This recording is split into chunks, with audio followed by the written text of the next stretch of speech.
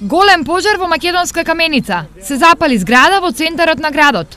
Пожарот избувнал денеска околу 14 часот во станот зградата на улица Рударска, пошто огнот ги зафатил и соседните станови, а потоа огнените јазици го зафатили и покривот.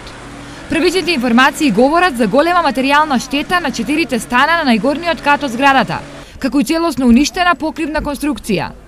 За сега се уште нема податоци кои се причините за пожарот и колкава е материјалната штета, но предпоставките одат во насока дека дошло до спој на електричната инсталација, пошто настанал и пожарот. Ситуацијата во Македонска каменица неколку часа беше драматична. Во гаснењето на пожарот, освен пожарникари од Каменица, учествуваа и екипи од Долчевската противпожарна единица.